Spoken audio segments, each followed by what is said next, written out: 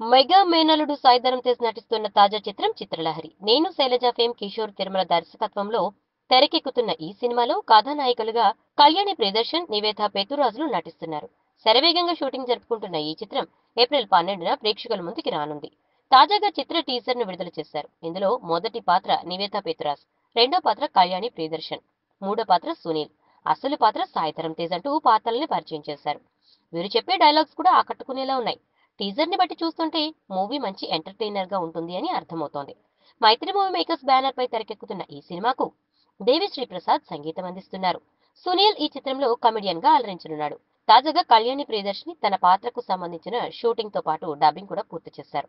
తొలి సినిమాగా హెలో మూవీలో అఖిల్ సరసన నటించి ఆకట్టుకున్న కళ్యాణి తన రెండో సినిమా సాయిధరం తేజ్ సరసన చిత్రలహరిలో నటిస్తోంది. రొమాంటిక్ ఎంటర్టైనర్గా తెరకెక్కుతున్న ఈ సినిమాలో సాయిధరం తేజ్ న్యూ లుక్లో కనిపించనున్నాడు. ఈ వీడియోపై మీ విలువైన కామెంట్స్ని మాతో షేర్ చేసుకోండి.